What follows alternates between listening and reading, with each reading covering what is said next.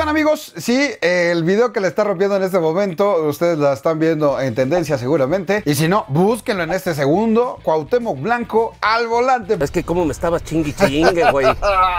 ¿Cuál chingue chingue? Ya no te aguantaba, cabrón. Pues no, güey, pues siempre te la pasabas ahí, este, talachándome ahí en el bar bar, güey. Yo tenía que estar pagando todo. Este video lo tengo buscando desde el minuto cero. O sea, a lo largo de mi vida ya había hecho algunos, unas grabaciones, algunas entrevistas con Cuauhtémoc, pero obviamente ninguna yo siendo tan protagonista, digamos. Ahorita les platico, ¿no? De cómo lo conocí, qué otras ocasiones lo había visto en mi vida, cómo se portó, el antes y después, el ambiente que se sentía alrededor de la casa de gobierno cuando fui, porque estuvo medio tenso, ahorita les platico por qué. Pero el punto es que quedó un pinche videazo. Un video bastante divertido, bastante chingón, con uno de los mejores jugadores de la historia de nuestro país.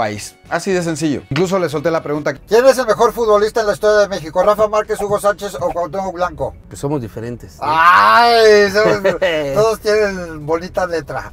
No, güey, todos somos diferentes. Yo creo que todos este, en su época, ¿no? Yo siempre eh, he dicho que Hugo Sánchez nadie va a hacer lo que hizo Hugo Sánchez en España. Los tres han ganado muchísimas cosas y los tres tienen una gran fanaticada. Los tres jugaron a un gran nivel. De estos tres, Cuauhtémoc Blanco más a nivel local, casi no jugó en el extranjero. Pero el nivel de multitudes que arrastró, el nivel de gente que hizo encabronar, el nivel de gente que hizo emocionar cuando era futbolista, ese sí creo que en el fútbol de México, en la Liga Nacional, no hay comparación. Ese güey sí es el número uno. Pero actualmente, para quienes están en otras partes del mundo, a lo mejor que no esté en México, Cuauhtémoc Blanco actualmente es el gobernador de Morelos. Él es el gobernador de un estado de la República Mexicana. Fue primero presidente municipal de una ciudad y después fue de un estado. Y quién sabe qué le depara el destino si se regresa al fútbol o se sigue en la política. El punto es que este tipo de cosas pues las, las tenía que tomar muchísimo en cuenta a la hora de formular mis preguntas. Desde hablar de fútbol, obviamente de la parte deportiva, que le tocó vivir, sus anécdotas, su perspectiva del de, panorama actual de, de la selección mexicana y del América y del fútbol en general. Y obviamente no podíamos dejar a un lado totalmente la política, porque pues es algo muy natural. O sea, de entrada, el video lo grabé en Morelos. Tuve que ir a otro estado. Está muy cerquita, está pegado con la Ciudad de México, pero sí te avientas unas dos horitas de traslado. Y pasé por él en la casa de gobierno de allá de Morelos. No sé si dije exactamente bien el nombre, pero bueno, ahí, en sus oficinas, ¿no? Yo en, esta, en el fútbol,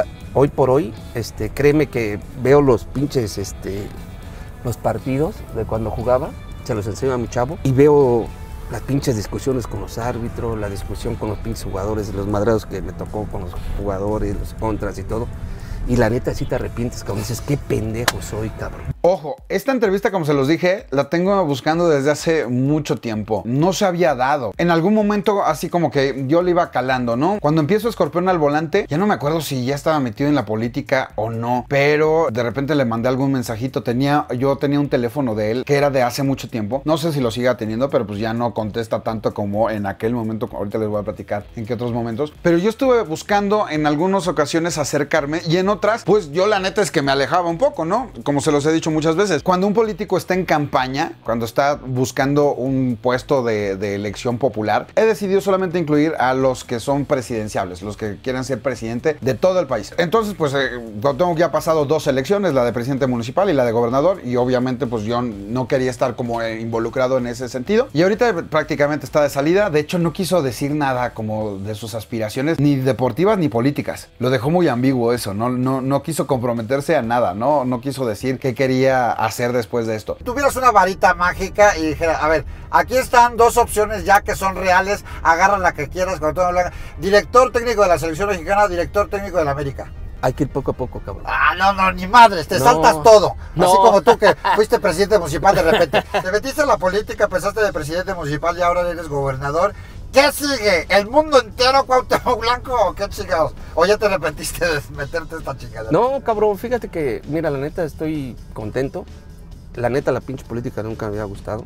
¿Nunca te había gustado? ¿Y luego todo- cómo le perdiste el asco? Pues ahí te voy, güey. Pero el punto es que yo estuve insistiendo y estuve buscando diferentes formas de hacer este, la entrevista, de acercarme a él. Obviamente yo nunca me presenté anteriormente las, las ocasiones que, que hice algún programa en TV Azteca o incluso le hice una entrevista cuando yo era universitario y cuando Cuauhtémoc estaba en el América. No sabía cómo acercarme para presentar, digamos que este proyecto nuevo llamado Escorpión Dorado, ¿no? Y entonces empecé a rascarle y mi equipo de trabajo empezó a rascarle. Y se acercó una cantidad de gente donde, según ellos, todos eran así, nalga derecha de Cuauhtémoc Blanco. Ellos los, lo conocen así, cabrón, y ellos me lo iban a conseguir. No mames, me hubieras dicho, somos así, uña y mugre, yo te lo consigo. Eso me lo dijeron un chingo de gente. Y hubo un sector de estas personas que simplemente no pasó nada, ¿no? Dijeron que lo iban a conseguir, no pudieron. No sé por qué. Decidia, Cuauhtémoc les dijo que no, el equipo de Cuau le dijo que no sé. Y otros tantos inclusive se atrevieron a condicionármelo. Me decían, oye, sí, pero ¿qué te parece si vienes a un partido? ¿Qué te parece si vienes a una inauguración? ¿Qué te parece si vienes a un restaurante? ¿Qué te parece si vienes a no sé qué antes? Y ya después vemos eso de Cuauhtémoc. Ay, hijo de su maíz, pelo. ¡Oh! ¿Por qué hacen eso, muchachos? Obviamente, en el momento que me decían eso, decía, no, güey, pues, o sea, quiero hacer una entrevista con Cuauhtémoc y he entrevistado a, grandes, güey. Y no voy a permitir que sea un poco, eh, inclusive que, que, me utilicen o lo utilicen como moneda de cambio para sacar un beneficio, o un tercer beneficio, ¿me explico? Entonces,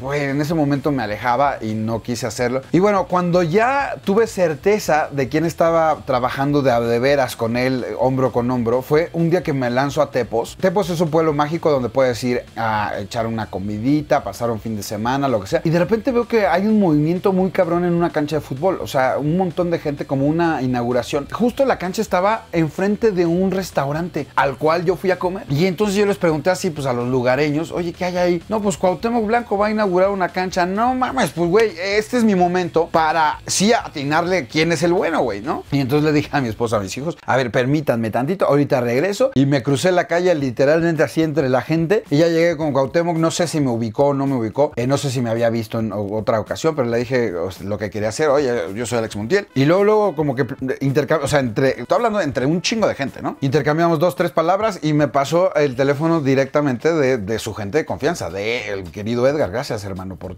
todas las atenciones. Y entonces dije, güey, pues ya, ya chingue, güey. Ya sé que esta persona sí es de a de veras, güey, ¿no? Si es alguien serio, si es alguien que me va a conseguir la entrevista y que me va a decir seriamente este, el día que me lo confirme, pues voy a saber que es él, ¿no? Entonces, pues bueno, ya estaba del otro lado, pero les estoy hablando que esto fue hace cuatro años, güey. Y hasta ahora se concretó. Mandaba uno que otro mensaje. No, no quise ser muy intenso. También siento que las cosas no se tienen que eh, presionar tanto, no se tienen que forzar tanto y se tienen que dar naturalmente. Y entonces lanzaba un mensajito. ¿Qué onda? ¿Cómo están? ¿Lo armamos? Sí, déjame ver. ¿Qué onda? Pues no se hacía. A ver, eh, la gente que está ahí metida en estos puestos eh, del gobierno están en chinga, güey. En chinga. Y últimamente Morelos, además, pues es un estado donde están sucediendo un montón de cosas. Donde están contrariados un chingo de intereses. Ni en el video ni aquí voy a tomar ningún tipo de, partido o ponerme la camiseta de nadie. Este, ese es punto y aparte, güey. Ese es su pedo, ese es sus cosas, pero de que suceden problemas y de que pasan cosas y de que tienen que resolver un chingo de cosas gobierno, pasa. Entonces, si de por sí soy comprensivo con muchas celebridades que tienen sus cosas por hacer, sus cosas por resolver, pues cuando se trata de Cuauhtémoc y ese tema que se metió de la política, pues tengo que ser muchísimo más comprensivo. Entonces mandaba el mensaje, me decían que iban a checar, se tardaba un día, dos, una semana, un mes, no pasaba nada. Y después pasaban dos meses y otro mensajito. Oye, ¿cómo estás? Este, no te acuerdas de mí. Dime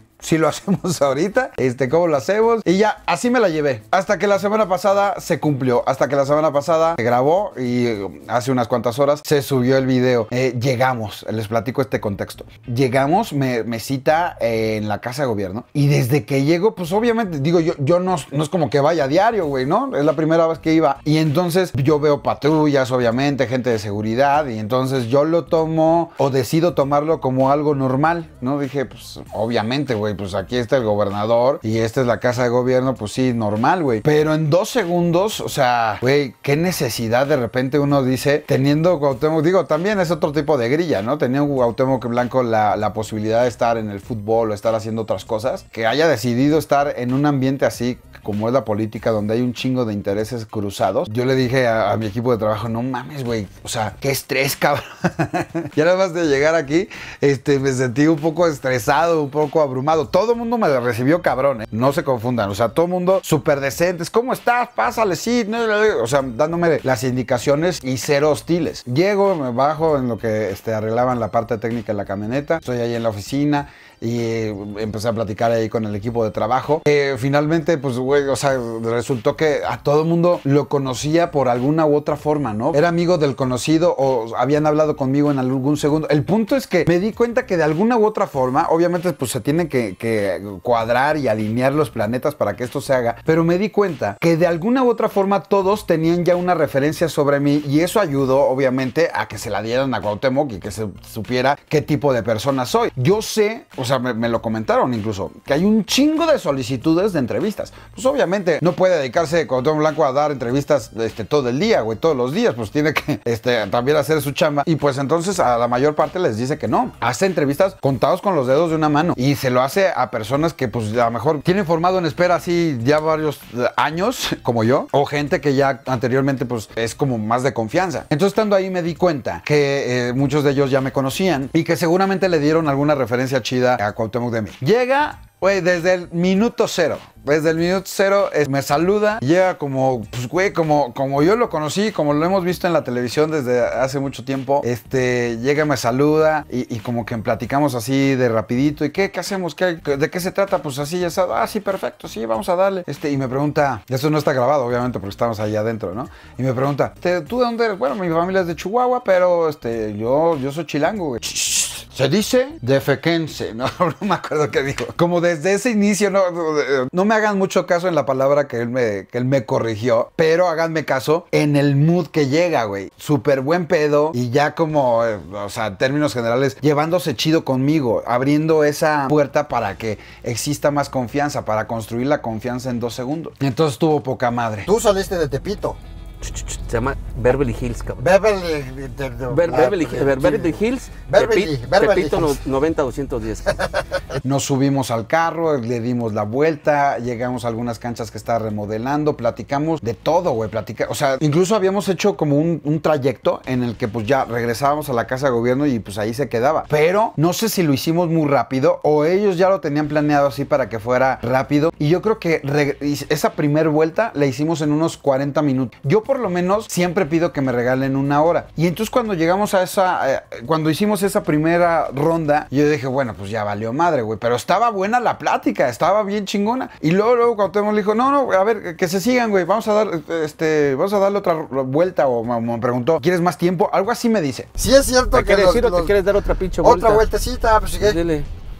Y nos damos otra vuelta y completamos mucho más de una hora. Una hora 20 minutos. Estuvo poca madre. Entonces dio tiempo para que platicáramos de todo. La gran cantidad, pues como se los dije, fue cuestión deportiva. Salió el tema de la política, pero pues güey, de la hora 20 habremos hablado 10 minutos de eso máximo. Y estuvo chido. Ya después me enteré que eh, habían tenido un problema así cabrón. Un problema de seguridad en la mañanita, o sea, mediodía. Eh, no estoy seguro, no, no quiero decir qué, qué tipo de problema porque no me y no lo sé. Pero lo que sí sé es que el ambiente estaba tenso. Por eso había gente allí de seguridad y demás. E inclusive yo veía las caras de, de muchos de ellos así medio serias, ¿no? Medio preocupadas, güey. En perspectiva, primero, pues bueno, eh, en, en la parte de, de lo que yo me dedico, digo, güey, o sea, no, no se lo dije ahí directamente, pero pues seguramente este video le llegará. Gracias, güey. Gracias por no cancelarme. Ese tipo de situaciones son las que provocan que se cancelen las grabaciones, güey. Entonces, no se canceló. Y tuvo el profesionalismo para, para no cancelar el compromiso,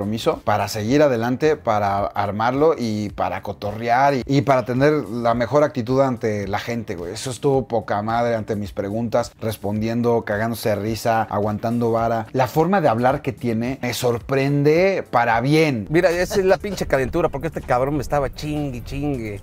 Igual que José Ramón todos los pinches días en el Teba Azteca.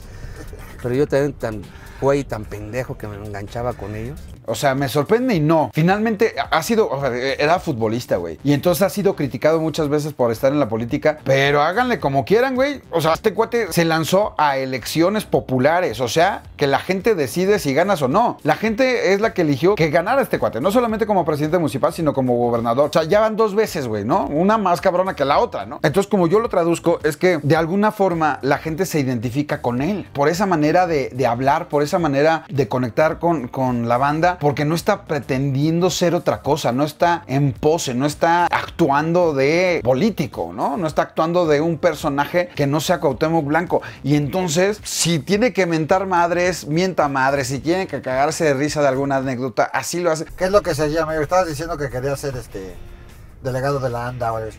No, Porque eres un no, gran no, no, si, si se da bien. Ah, actor a huevo, cabrón. Ya lo hago de todo, tío, que soy este, el mil usos. Entonces no está en ese rollo rígido eh, y, y- y a la defensiva, sino siempre como muy abierto. Y eso es lo que yo traduzco, la razón por la cual creo que están votando la gente. Como se los dije, o sea, esto no era una como promoción para que él llegara a otro puesto, ni deportivo ni político, porque ni siquiera lo quiso decir. Hay que hacer este. Hay que hacer. Bueno, méritos. utilero de la América, utilero de la selección.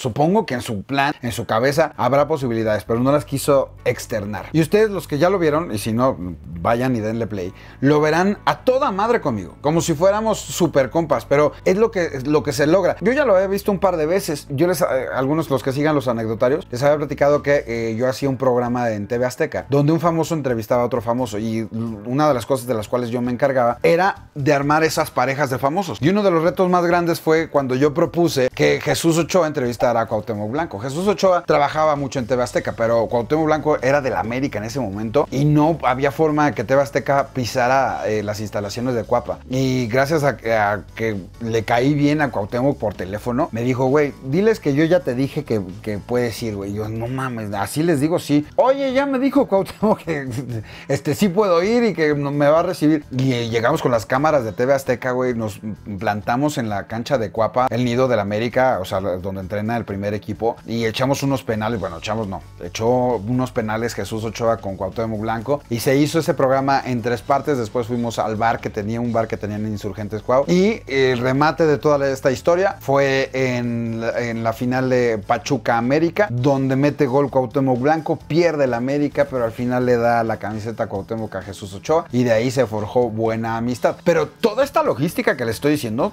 era complicada, güey. Y toda la hice yo. Y todo fue de estar así eh, eh, con el teléfono y coordinando las agendas de Jesús Ochoa, de Cuauhtémoc Blanco y las de la producción de, TV Azteca. Entonces fue muy estresante, pero desde ese momento, o sea, desde que eh, Cuauhtémoc Blanco era una estrella en el América, yo siendo nadie, güey, ya había salido en la tele un par de veces yo, pero no era ni medianamente famoso. Y le hablaba, ¿qué onda? ¿Cómo estás, Cuauhtémoc? Habla Alex Montiel, ta, ta, ta, ta, y ya, usando todos mis argumentos y seriedad posible para que Cuau lo aceptara. Y desde aquel momento me dijo que sí, cabrón. O sea, eso está brutal. Y no solamente eso. Hubo un momento anterior a ese en el que yo no estaba en Azteca, estaba en la Septien, o sea, en mi universidad de periodismo. Y como parte de los eventos que se hacían cada año, era un concurso de géneros periodísticos. Y de estudiante le, lo busqué, le hablé. Me acuerdo que le regalé una fotografía que un día le tomé cuando fui, eh, cuando estábamos muy chamacos, güey, que íbamos a, acompañar a mi hermano que estaba ahí en la escuelita de la América cuando tenía 7 años, imagínate. Cuando tenía 7 años mi carnal. Yo tenía 15 años.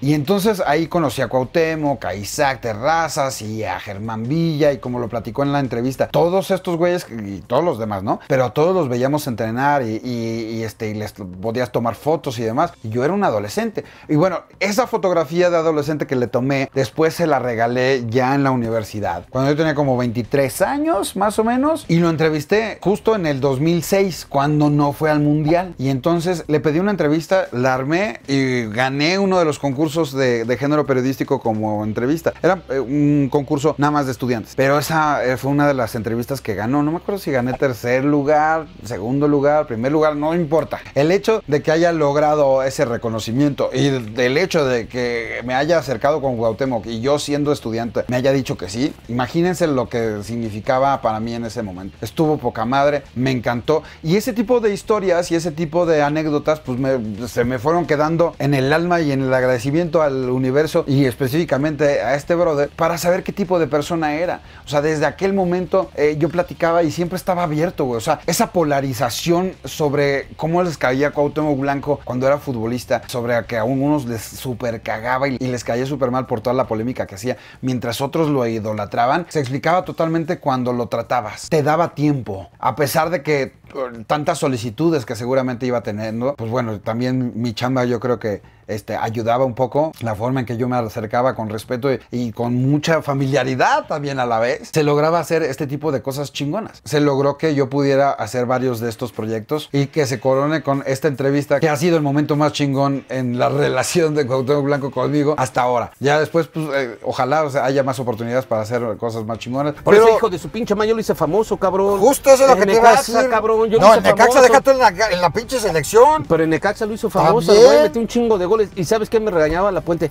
se mételas tú, deja de dar pases. Por ahí este, se habló de que a ver si armamos una cáscara o algo así. Estaría poca madre armar algo así. Ya veremos si el mundo este, se alinea otra vez para lanzarnos. Quedó chingona. Como para hacer una, una reta aquí, para meterte una putiza. Cuando quieras, cabrón, ¿a poco juegas? ¿O estás pendejo? ¿Y tú qué? Ya, ya ni has de correr tú.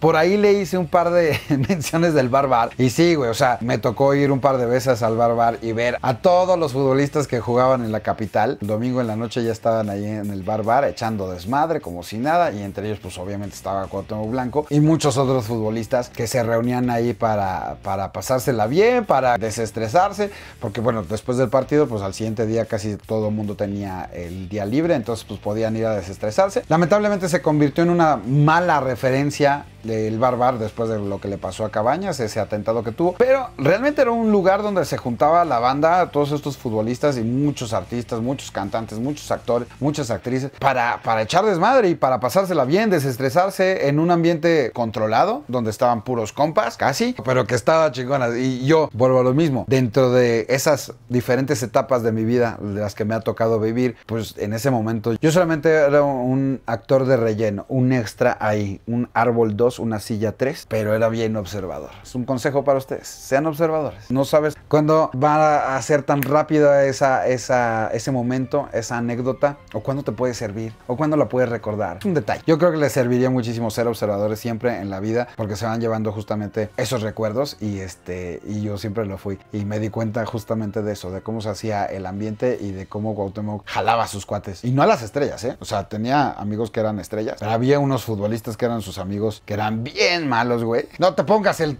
el saco, Germán, Isaac.